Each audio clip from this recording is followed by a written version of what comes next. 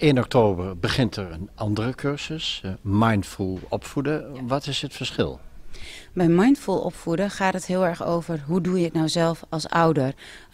Uh, hoe hou je nou al die ballen in de lucht? Uh, je gezin runnen of een ontspannen ouder zijn. Ja, er zit gewoon echt een verschil tussen. En uh, mindful opvoeden gaat dus echt over hoe je dat als ouder doet. En in positief opvoeden zit ook meer uh, opvoedkundige handreikingen van hoe beïnvloed je nou het gedrag van je kind. Ik kan me voorstellen dat het uh, moeilijk is om te erkennen dat het in je gezin even iets minder gaat en je dan toch op te geven voor zo'n cursus. Ja, en tegelijkertijd is het ook vaak de herkenning. Oh, ik ben niet de enige die het lastig vindt. En um, uh, ouders benutten niet alleen de cursusleider, maar die benutten ook elkaar. Hoe doe jij dat nou? En dat geeft in de groepen wel een stukje ontspanning. Maar wat u zegt is waar. En uh, zeker ook de almeloze nuchterheid is, ik los het zelf wel op. En ook die ruimte willen we geven. Want op het moment dat je de cursusleider eenmaal kent, kun je ook makkelijker op een later moment nog naar iemand terugstappen.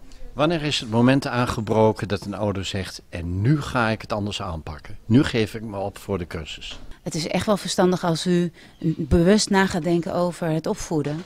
Uh, dus er zijn verschillende ingangen voor mogelijk. En ja, wanneer een ouder. Een ouder moet wel echt gemotiveerd zijn, anders helpt zo'n cursus ook niet.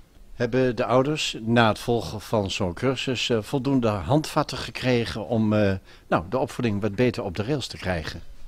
Nou, ik hoop het. Maar een cursus is natuurlijk een hulpmiddel.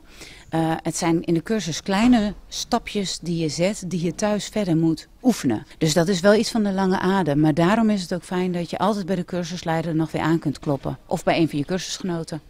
Kun je iets vertellen over de ervaringen van ouders tot nu toe die uh, deel hebben genomen aan de cursus? Of een van de twee cursussen? Uh, het zijn kleine stapjes die op de lange duur hun echt helpen om met hun kind uh, een andere route in te slaan erkennen dat iets zo is, dan uh, de bewustwording en ja. vervolgens uh, het geleerde in praktijk brengen. Ja.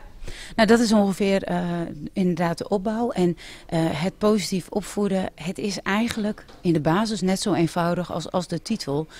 een positieve houding ten opzichte van je kind en je kind een veilige en stimulerende omgeving bieden waarin het zich kan ontwikkelen. Ja, dat is eigenlijk wat elke ouder wil